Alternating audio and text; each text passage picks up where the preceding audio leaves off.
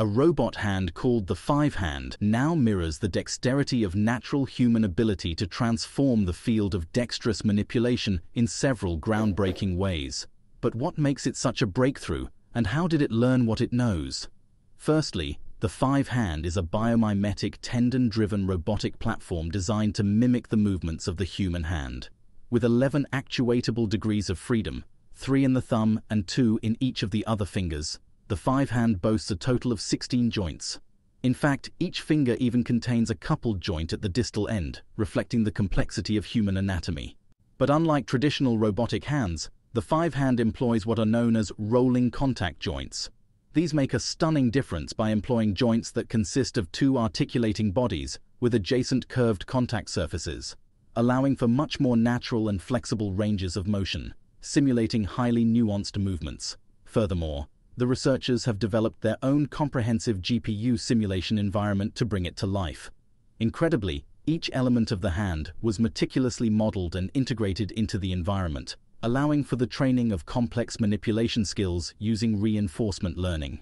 Then, the simulation environment, known as FaiveGym, was used as a wrapper around Isaac GYM ENVs to support the Faive-hand. This also allows for the straightforward integration of other robotic hand models. And on the hardware side, the Faive-hand is tendon-driven by 16 Dynamixel servo motors housed within its wrist. However, in the simulation, the hand is treated as a joint-driven robot, with tendon paths geometrically modeled directly from the CAD data. This allows for what's known as an extended Kalman filter to estimate joint angles from tendon lengths, ensuring precise control and sensing. And training the Faive-hand to perform dexterous tasks involves a sophisticated process of reinforcement learning. The set of rules guiding the hand's movements, also known as the policy, is trained using advantage actor critics with asymmetric observations. This simply means that different sets of observations are provided to the actor, which is the decision maker, and the critic, which is the evaluator, in order to further enhance the learning process. On top of all of this, in a parallelized simulation environment, 4,096 virtual robots are then trained simultaneously on a single NVIDIA A10G GPU for about one hour in a training process that is so intensive that it results in a highly refined policy that's suddenly capable of executing complex in-hand manipulation tasks. But this is actually just the beginning, because once the policy is perfected in the simulation, it then must be exported to the physical Faive-hand. This transition from virtual to real-world application is known as zero-shot transfer, meaning the skills learned in the simulation are directly applied to the physical robot without additional training. However, this transition isn't always smooth. Performance can vary significantly due to the inherent differences between simulated and real environments. Some policies may even fail, causing the robot to stop moving its fingers after a few seconds. To address this, researchers run multiple policies, each trained with different random seeds, and select the best performing one for real-world application. But there's a twist, because one key technique enhances the Faive hands performance even further, known as domain randomization. Simply put, by varying the training conditions in the simulation, the robot learns to adapt to a wider range of scenarios, improving its robustness when applied to real-world tasks. In fact, without domain randomization, the policy could fail to execute tasks consistently or worse. For instance, a non-domain randomization policy might only rock a sphere back and forth in the hand, whereas a policy using it will instead successfully rotate the sphere, achieving the target rotational velocity. And combining everything together makes the Faive-hand a legitimate leap forward in robotics technology.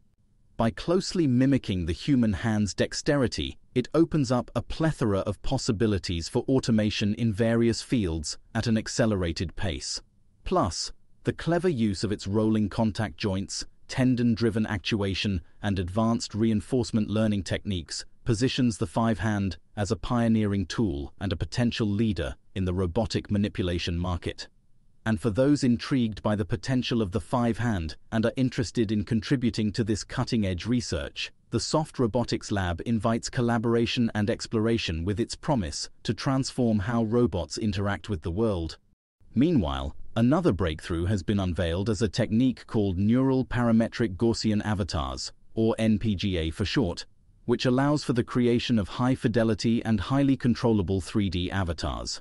But what sets NPGA apart is its ability to capture a wide range of expressions and details, even from challenging and diverse video footage. And the magic behind NPGA lies in its use of sophisticated neural networks and 3D rendering techniques, which are broken down into the following parts. Number 1. Rich expression space. NPGA leverages advanced neural models to capture a broad range of facial expressions and movements. Number 2. 3D Gaussian splatting. This technique involves representing the avatar's head as a cloud of points, each with attached features that help render realistic details.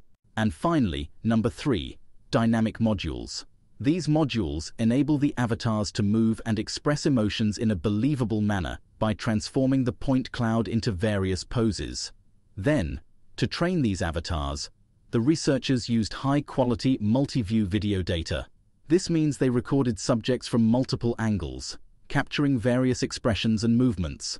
This comprehensive training data allows NPGA to create avatars that look and move like the real person, even under extreme expressions. And the results of this new method are nothing short of stunning. To start, it produces incredibly accurate expressions. Whether it's a subtle smile or an exaggerated grimace, NPGA can capture it seemingly indistinguishably from reality. Next, the avatars include fine details, like individual hair strands, making them look incredibly lifelike. Finally, the movements are smooth thanks to the dynamic modules, mimicking real-life facial movements. And when comparing with other methods, the results are clear. In tests, NPGA outperformed other recent methods for creating 3D avatars. While other methods produced good results, they often resulted in blurrier images and less dynamic expressions. NPGA, on the other hand, maintained sharpness and expressiveness even under challenging conditions. One exciting potential application of NPGA is in the world of video chat and virtual reality. Imagine having a highly realistic avatar that can mimic your facial expressions in real time, making virtual interactions feel more personal and engaging. The researchers are also exploring ways to improve NPGA further. For instance, they are working on eliminating minor artifacts that can appear under extreme expressions and enhancing the overall smoothness of the avatars. Altogether, the introduction of neural parametric Gaussian avatars marks a significant step forward in the field of avatar creation. By combining advanced neural networks with efficient 3D rendering techniques, this new method offers unparalleled realism and control. Whether for gaming, virtual meetings, or digital content creation, the potential applications are vast and exciting. The only question left will be, what's real and what's not?